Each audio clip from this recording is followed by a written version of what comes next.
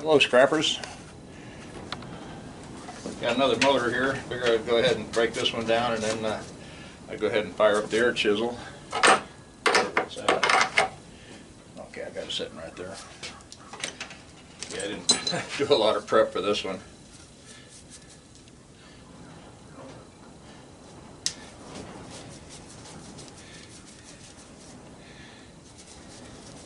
Hope everyone out there is doing good this morning. Of course, I don't know what time you're going to watch this, but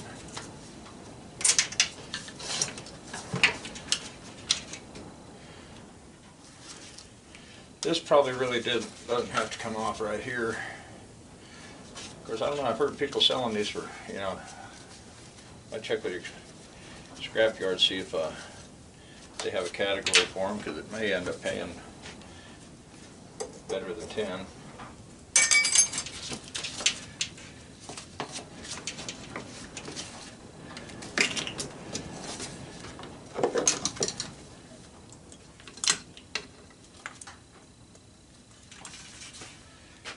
Set that aside there.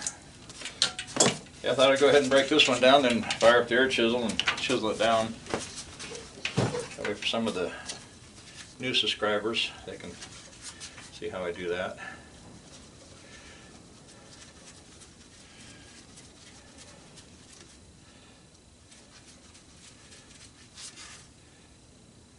Get this electrical connector loose here to get the pull the wire through here, here in a little bit. I got a cover right here.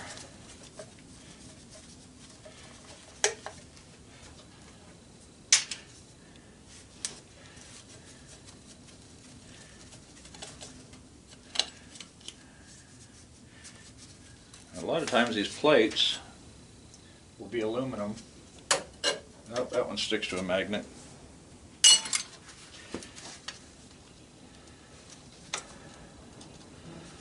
Tell by the long shafts on each end of this thing that uh,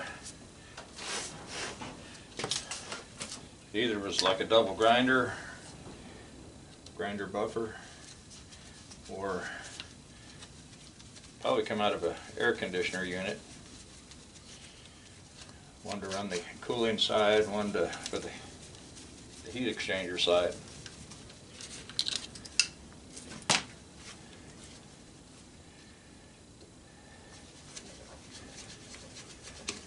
Usually, little brackets here usually just loosen them up and then they un, unhook. If you're really trying to make time, you might be able to just cut them off with something. Yeah, let's see, here's our wires. Not a lot of playroom in there.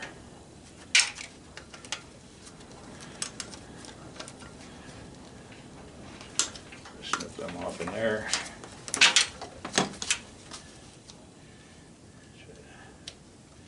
Spread that apart if I can.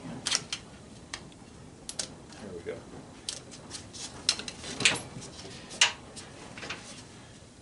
That should pull right out of there. Should. Looks like I put a little tape on it. Okay, throw that in my wire bucket. Now, you do a lot of different projects, sometimes I try to save these, uh,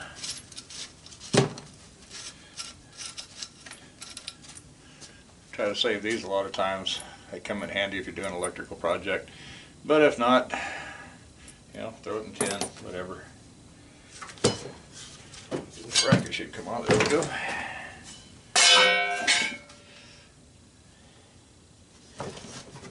I was gonna show you last week.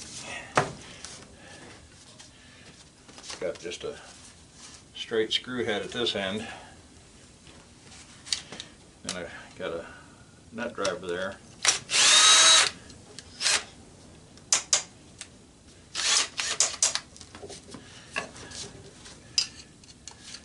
Sometimes those won't spin, so, you know, you can try it without the screwdriver.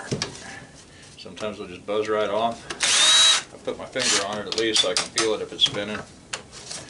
Screw head.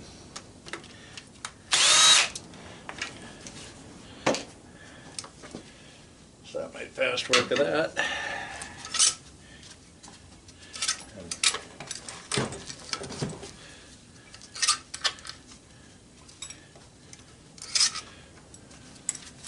Pull the rods out.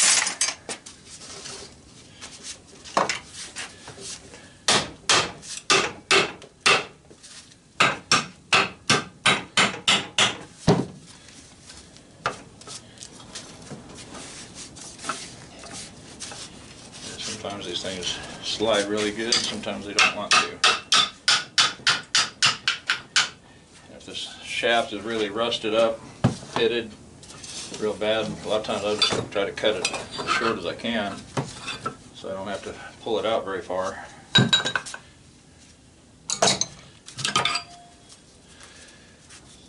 Let's see, yeah, that's aluminum. It sticks on this side, the center's aluminum, so it's got a space plate right here is tin, but the rest of that's aluminum. So if I can figure out how to get that off of there, looks like a couple of tabs. Which I can always like pry that off later. If I get this off, it's okay. If not, I can do it later off video.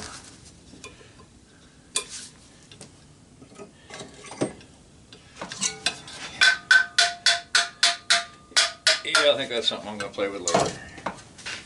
Okay, we'll set that aside.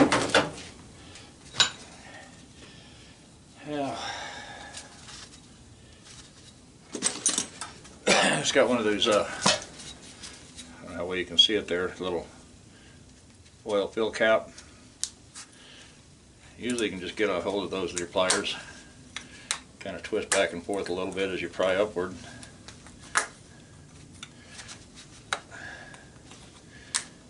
tearing that one all up. Usually they're a lot easier than this. There we go.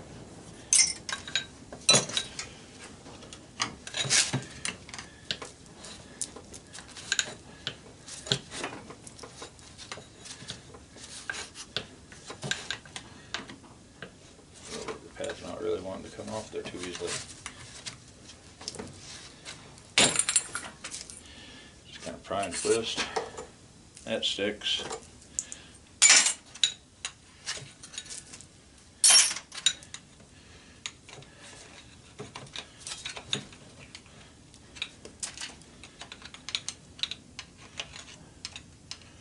Got all the little padding in here that, I don't know what they call that stuff. It's, uh,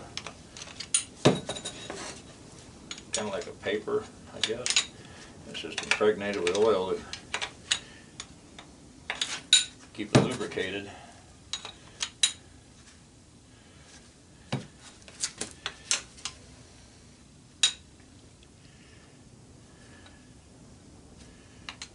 Yeah, it looks like it's got a piece right in the center there to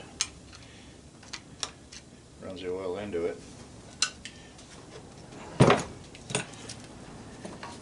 See if I can't knock the center of that out. A little sheave. that- Not a, she- not a sheave, but a bushing. It's starting to go down. Kind of work a little on one side, work a little on the other.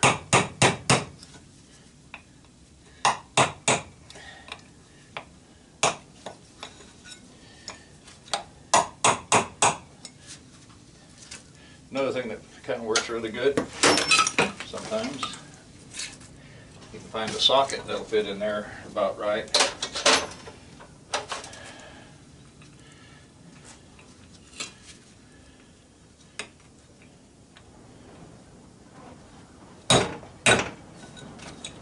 Okay.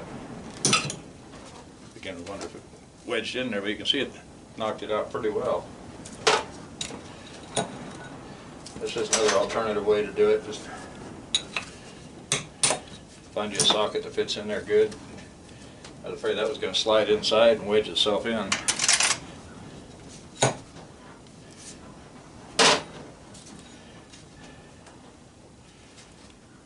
Now we just gotta get that other piece off and it'd be pretty much clean aluminum.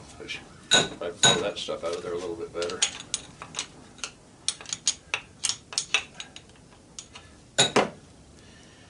I don't wanna spend too much time on this thing.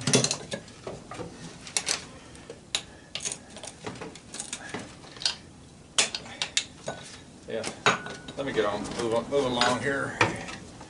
Set this aside, I'll do that off camera, you get the idea though.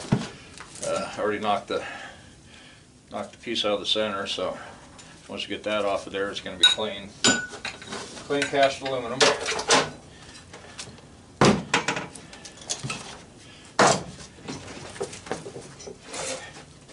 Table likes to walk away from the wall. Now in the last video I had some holes in the casing, so I was able to just cut it where the holes were. This one doesn't have the holes, so.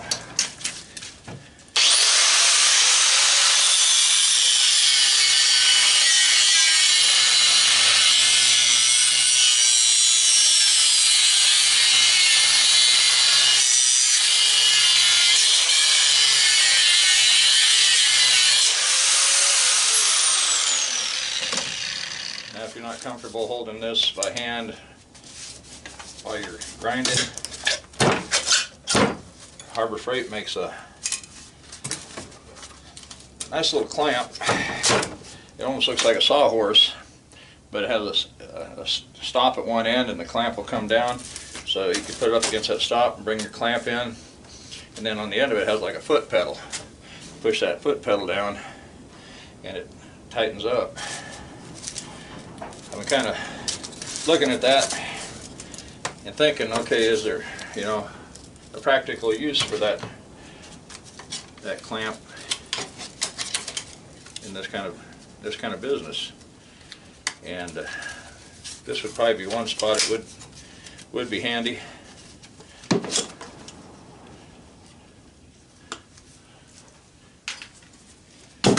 Because a motor like this, you would be able to clamp it right in there and hold it still, so.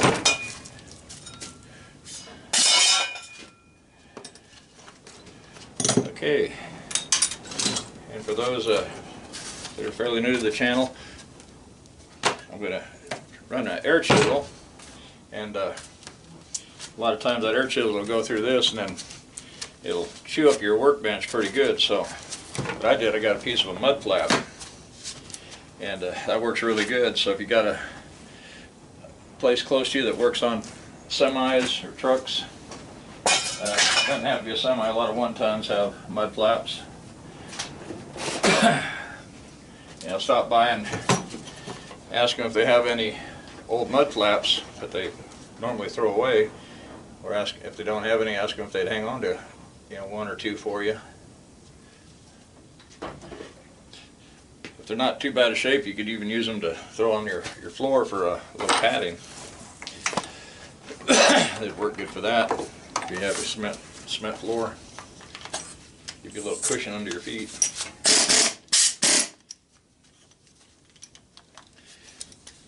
This piece has been loosening up on there quite a bit. That's just old, a little craftsman.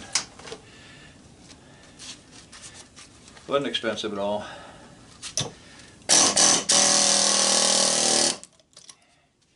Sometimes we gotta try to move these things out of the way because they want to hang up on the wire sometimes.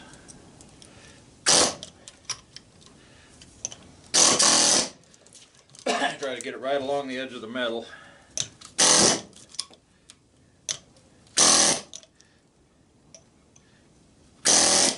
Now you can also do this with a hacksaw if you don't have an air chisel. You could use it with the sawzall, angle grinder.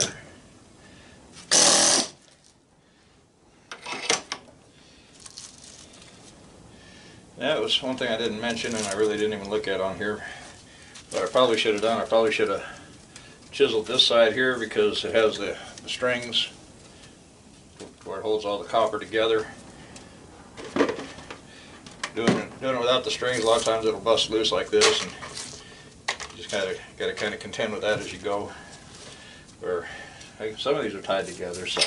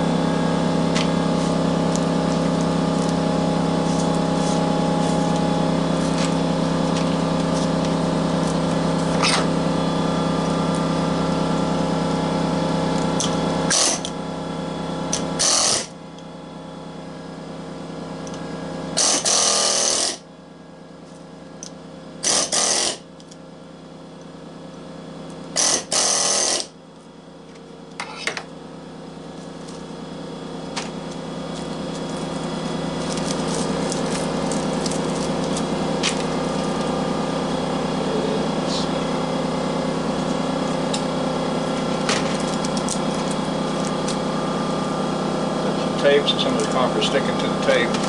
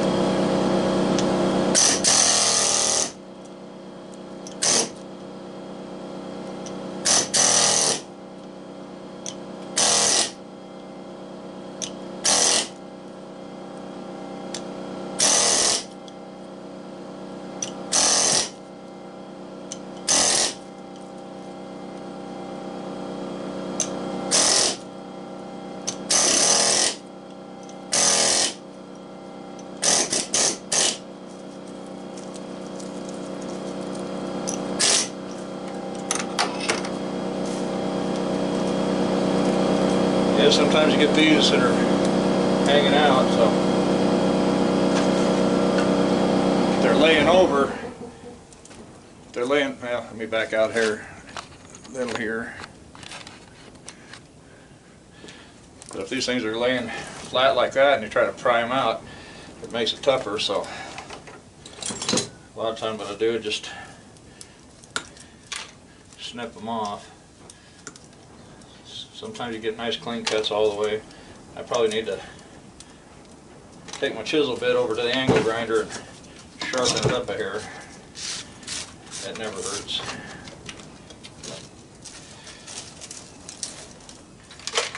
Well, if you're learning anything from my videos,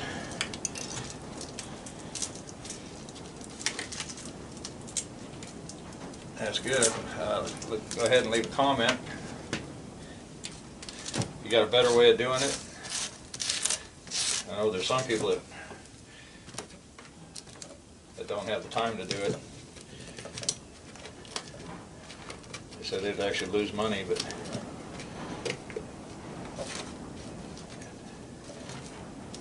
they probably would, they stay hooked up. Some of these guys do some serious scrapping. But as I say, I'm more of a, a hobby scrapper.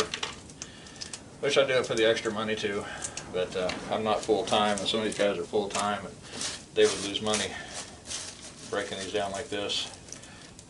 And I talked to a few of the heat and air companies around here, and they take their, you know, compressors and stuff like that in without breaking them down. Now, if a guy could get a hold of some of those guys and pay them what the scrapyard's paying, or maybe a, a penny more per pound,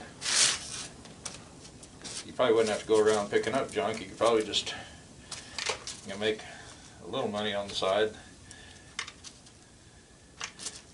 Just cutting theirs down. Yeah, a lot of time I'll just kind of blow that stuff out of the way. But now, now we're into these strings. For years, I just used a regular box knife to cut these strings, but you're you're running that sharp edge right up against the copper, which uh, copper is kind of a soft metal, but it'll still dull your blade. So what I started doing, I started using these hook blades. I guess right here, glove makes a better background. Started using these hook blades, and there I just try to hook the string right up under the blade.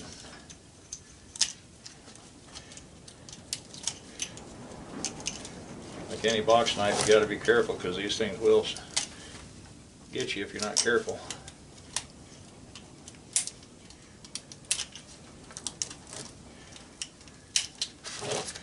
And just go around here and cut these loose.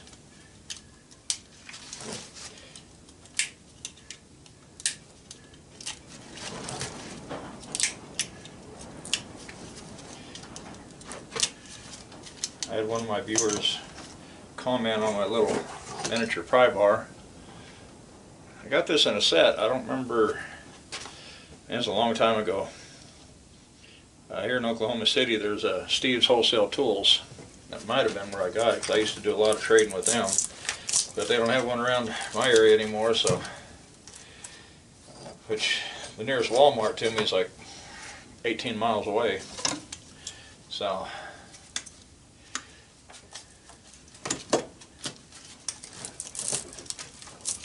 Usually get most of my stuff at Harbor Freight or Home Depot.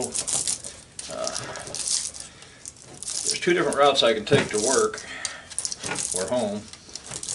And the mileage is the same. One is down the freeway, so faster speeds, so that's less time. The other way is back highways. And if I go the back highway route, I go right past a, a Lowe's. So sometimes I'll fill my Lowe's on the way home from work. You know, it just takes me a little longer, but it's, you know, really no gas, extra gas.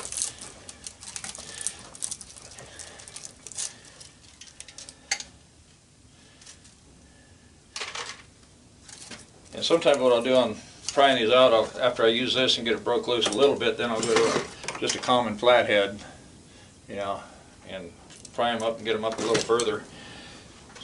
I've had some that were really, really tough, so once I got out so far, I just take the hammer and strike it right here. Now you can barely see that, let me see if I can raise the pan upward a little bit. And of course it doesn't. Stan wants to be really jerky. Sorry for the ride, I hope you didn't get, didn't get seasick there. But, uh, sometimes you know, I'll just take this and just hit it like that and work, work it around and the whole thing will come out in one big unit. But normally I use the channel locks. I get on it and I use the rounded back edge of it.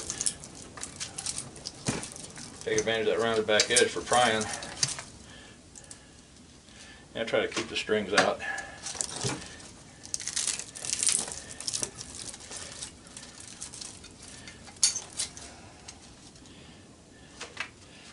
Get these that are kind of coated, sometimes I can just straighten them out and pull the insulation right off. This one here is coming apart easy.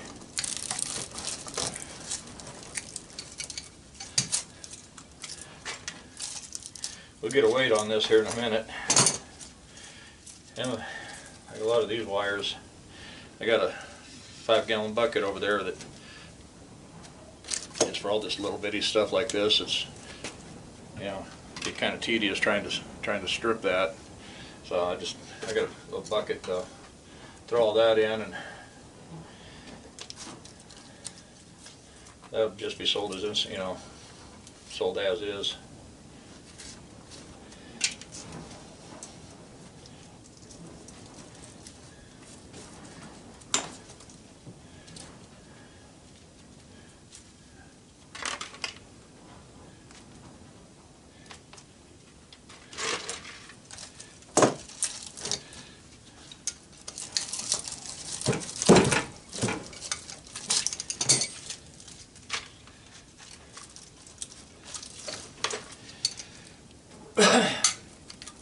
If you're liking my videos, please subscribe, like, give it a thumbs up.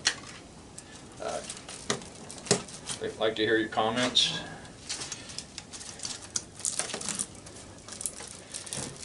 Share the video with your friends. Or any other scrappers you know.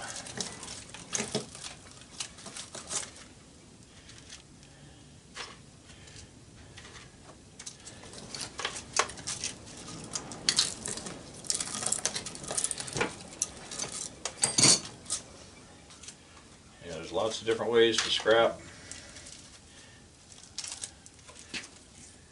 Lot, lot- yeah, like I said, more, more than one way to pluck a chicken. So, the way I do stuff is comfortable for me. I've seen other people do it other ways, and sometimes I think, yeah, they got a better way of doing it than I do. But, uh, yeah, this works for me. Okay, set this aside. Get all the copper out of that, no stragglers.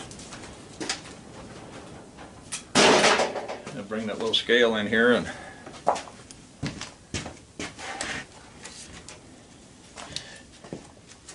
get it set up and see if we can't get a get a weight here.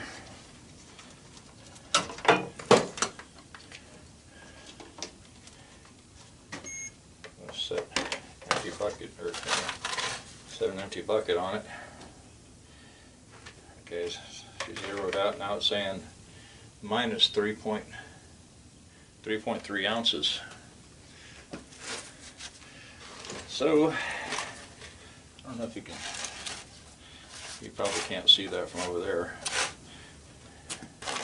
Yeah, let me put this back on here. Okay, that's saying zero. That's saying two pounds, fourteen point two ounces. Yeah. Almost six dollars, just out of that one motor. So, I guess I'll put that on there and I'll bring the camera over. But I want to thank everybody for watching. We'll get a view of that here just a second. Unplug the monitor. Flip the viewfinder over so I can see what you're looking at. There we go. Get out of the glare. Two pounds, 14.2 ounces. Well, thank everybody for watching. And uh, I'll try to get another video out probably Tuesday or Wednesday. And uh, I still got a little bit of stuff. So You can see, which I got that motor there. That's out of a dryer, so it'll be aluminum windings. I got a few good, still a few good motors in there. And I got some little miscellaneous box fan. There to get to tear down. A couple little bitty portable TVs, a few microwaves. I got two microwaves and a bigger TV out in the other room. Yeah, that uh, video of uh, that refrigerator, hospital bed, uh, antenna that I brought in here a week or so ago. I had this in the back seat. I forgot to mention that uh, this box here was in the back seat too. It's got a few little copper bearing motors, which you know I can get a little copper out of that one. Probably probably that one. These two will be pretty decent. I think everything will probably work out okay right there. So that'll be a few bu- few bucks in that too. So it's definitely worth going after. And that refrigerator, they told me it didn't work. It worked. My wife likes it, so now it's in my kitchen. So, or in her kitchen. So, thanks for watching, and we'll see you later the week. Have a good weekend, everybody, and uh, keep living the life. Yeah, bye bye.